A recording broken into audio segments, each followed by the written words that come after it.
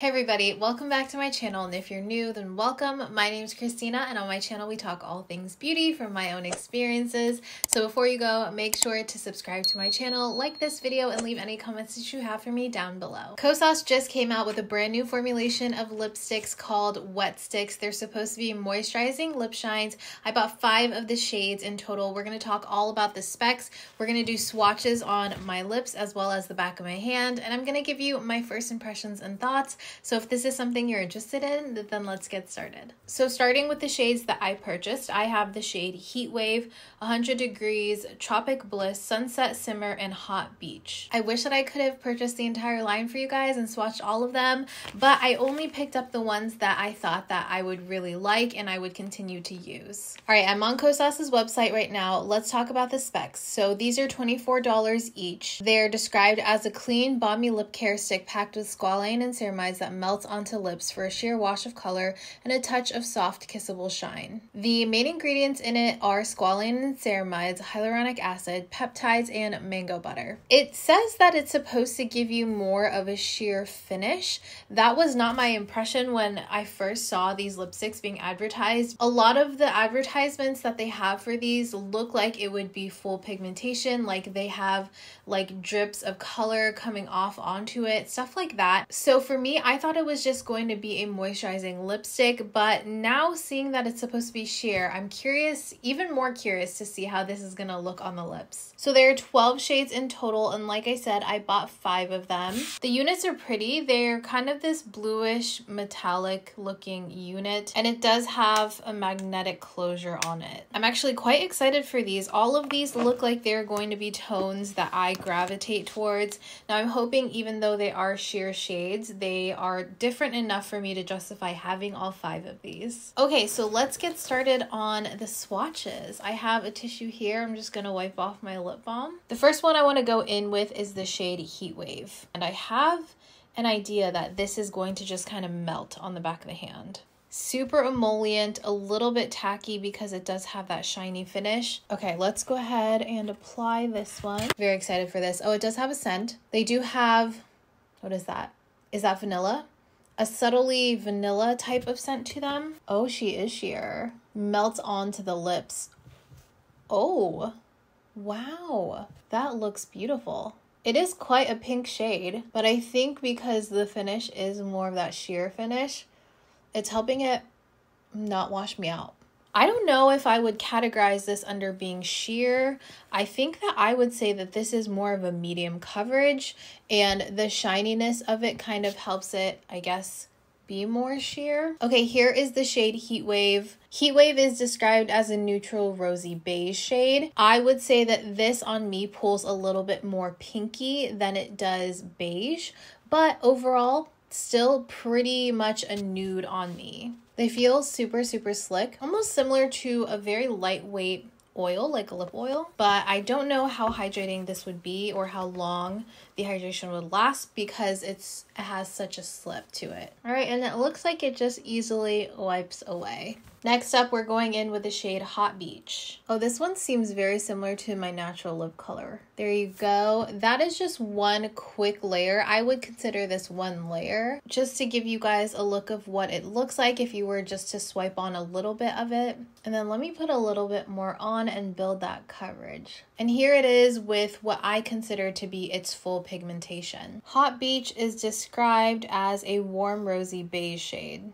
I can see this being a versatile shade for me where I can wear it with a lip liner and it would look really, really pretty, but I could also wear this without a lip liner just on its own. And this is probably as light as I would go in terms of like a nudie pink shade without lip liner to just deepen up the edges. Next, we have the shade 100 Degrees. This one is described as a neutral pink beige. Wow, every single shade that I've gotten so far is a neutral shade. Can do one layer. Ooh, pretty. This is one layer of 100 degrees. Very subtle, almost reminds me of just like a tinted lip balm.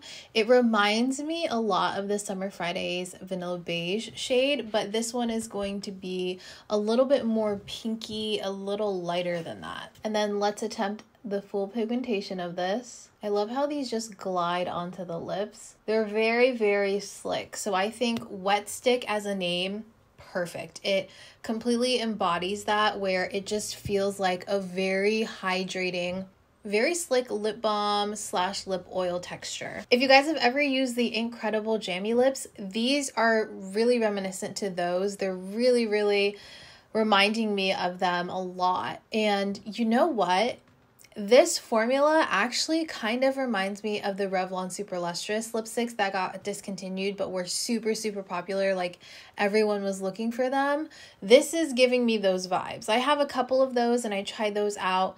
And these I think are a little thicker in texture. They're not as slippy as those, but these are giving me the same type of finish and aesthetic as those. They're definitely not transfer proof, but they don't claim to be. Next is the shade Tropic Bliss. This is described as a cool rosy mauve. Again, light layer, beautiful shade. Wow, that's a really pretty mauve. It's not too cool. It is definitely cooler because it is going to be a mauve shade, but it's not giving me gray tone right now.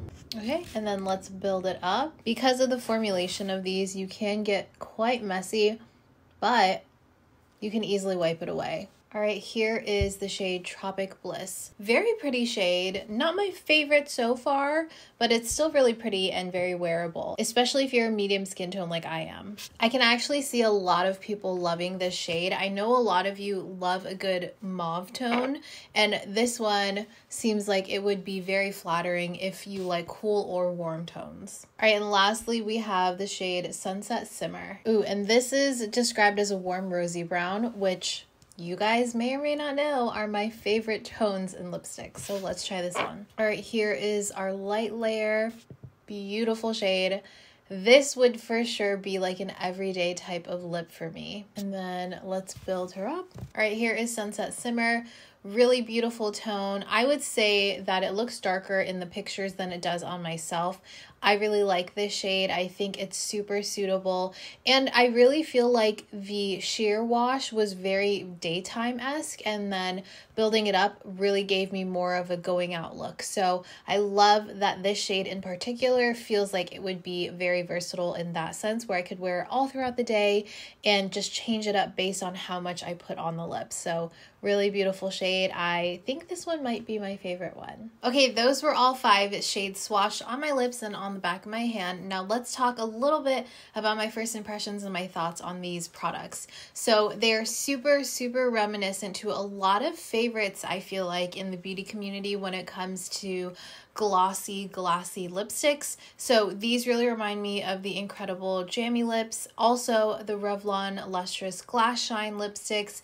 And if you want to even compare it, you could compare it to the Tarte Maracuja lip like lip uh pens the clicky ones. I have the lip plump ones but i'm pretty sure that all of the formulas for them other than the plumping aspect to it are very similar. Those, however, I would say feel a little bit, actually quite a bit more thick on the lips when you build it up. So those definitely have a little bit of a thicker consistency while the Revlon Glass Shine lipsticks have a thinner consistency than these are. So it's kind of like right smack dab in the middle. I would say for me, they're very, very reminiscent to the incredible Jammy Lips. My big gripe with those, however, was that I only ever liked one of the shades. I think it only came came in maybe four or five shades. That's why I never picked up any more. But to know that these are very, very similar to texture, color payoff, and how it feels on the lips, I'm very excited because there are way more shades to choose from in this line. I really love this type of formulation, the kind of glossy lipstick look for an everyday lip color.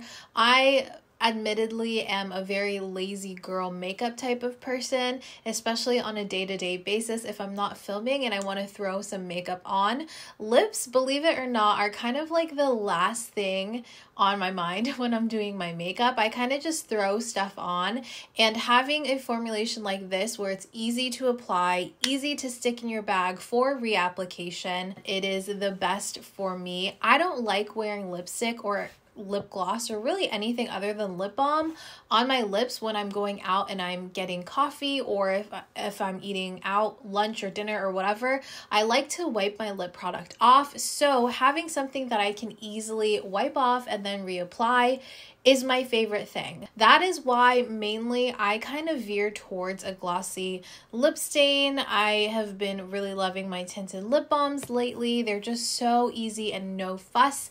And I really love these formulations with a lip liner. And I would suggest wearing a lip liner first and then applying this type of formulation to the lips because if you try to do it the other way around, it's definitely that lip liner is definitely to smear and kind of slip around. If you are looking for something that is transfer proof, this is not to be the product for you. However, if you're in the same boat as I am, where you like a formulation that is kind of like no fuss, in my opinion, as well as something that's to give you nice color, nice hydration throughout the day, then I would definitely suggest picking these up and trying them out. I think Kosas did a really great job at coming out with so many different lipstick colors in this line to start off with. I am so tempted to pick up more of these shades that I had my eyes on, but I shouldn't because I mean, let's be real, $24 is pretty pricey for, you know, a lipstick like this. I'm gonna, I'm just gonna stick to the ones I have for now. Overall, I do like this product. I think that it hit all the boxes or checked all the boxes that Kosas claimed that they would. My only thing is the marketing is a little bit misleading where it shows a ton of pigmentation um, when they're advertising it and stuff. But I don't know. Like I said, I would not consider this sheer coverage. I would consider like a tinted lip balm sheer coverage when it comes to color, you know? These for me are going to be more of a medium coverage lip product. I think it's a super comfortable formulation. Now, in terms of how hydrating hydrating it is throughout the day, I don't know that just yet. I'll leave in the description box down below if these are in fact hydrating or if they're going to be that lip product that feels like it has that shallow layer of hydration and then it just ends up leaving your lips kind of flaky, if you know what I mean. So I'll let you guys know in the description if I actually feel like this is doing something for my lips or if it's just kind of maintaining the hydration in my lips or if it's drying them out because I know that that's a big seller, especially when you're looking for an everyday type of lipstick. You want something that's going to be comfortable as well as something that's going to leave your lips better than they were before. Okay guys, I think that's everything for this video. If I missed anything or if you have any additional questions, please make sure to leave them in the comments down below for me and I'll be sure to answer those whenever I can or as soon as I can. I hope you liked this video. I hope you found it helpful and if you did, please make sure to like, comment, and subscribe for more videos like this one. And I'll see you guys in my next video. Bye!